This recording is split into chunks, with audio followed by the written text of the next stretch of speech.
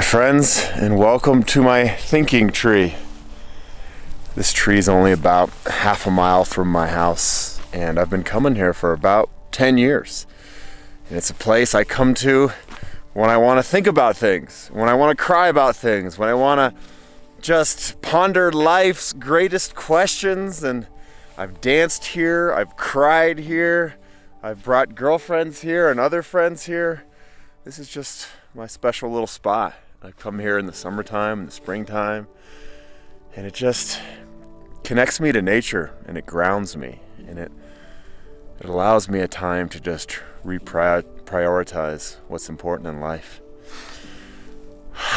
yeah, and today it's cold. Burr.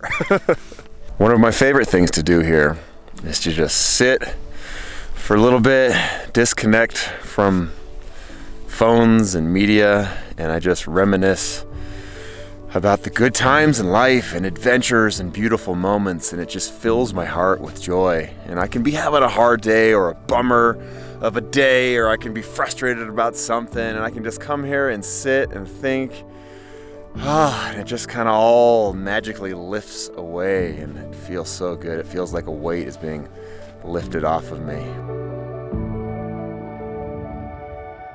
And not only do I think about the past, but I come here to dream about the future and, and plan life and adventures and what I want to do, and even as simple as what I want to eat for dinner. And that's usually an easy answer. It's burritos I want to eat for dinner, but I love this spot. I really cherish it. I'm so fortunate that I live so close to nature.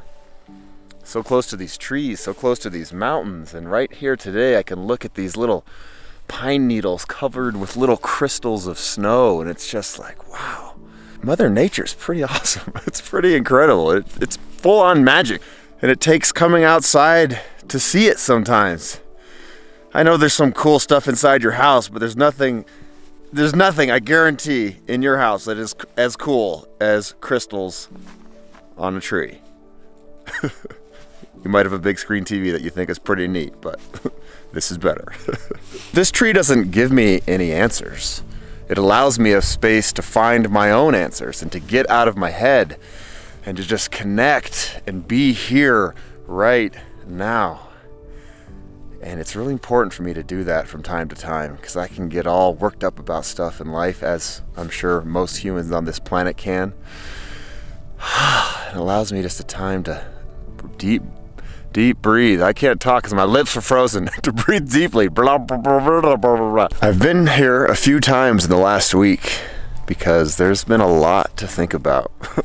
All of us are going through this together. The world is in a very interesting state right now, and uh, it's all new to all of us. I mean, and what's really interesting is that everybody can relate. I can call my family in Sweden and they're saying the same things. Yeah, our grocery stores are out of toilet paper and people are buying tons of food. I can call Mexico and other friends in Europe and it's just it's fascinating that we're all in on this together because usually when there's like a natural disaster it's just hyper local to one area that's having an earthquake or a hurricane and only those people can really relate but we're all in this together and uh, I think that's a really good thing I think it's a really good thing because it's it's going to bring us all together. At the end of this, whenever this does end, I think there's going to be a new world order. And uh, I think there's going to be a lot more love and togetherness. And it's going to be hard. Things are going to get bad and scary. And we don't even know what's going to happen. The future is totally uncertain.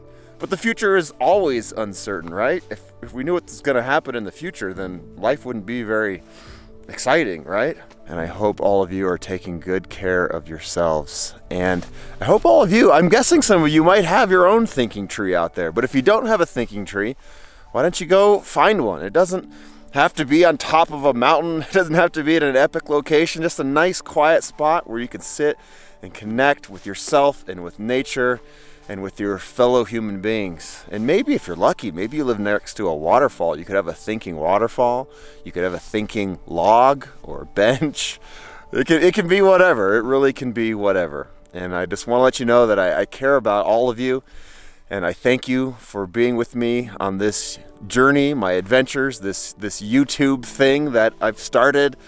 And uh, it, it really means a lot to me that uh, you watch my videos. It really does. It means the world to me. So keep on commenting and, and saying hi and taking care of yourselves and your neighbors and your family and your friends. And when we, we can all hug again, man, we're going to have some serious hugs to go around, right? Oh, I haven't hugged anybody in like a week. That's crazy. I hug all the time. It's so important to me. And uh, huh, that's been taken away from us for right now. And it's there's a good reason why. But when we get to hug again, you guys watch out because I'm gonna I'm gonna hug the crap out of you. You know what I'm saying? So have a good one. Stay safe, and we'll see you down the road.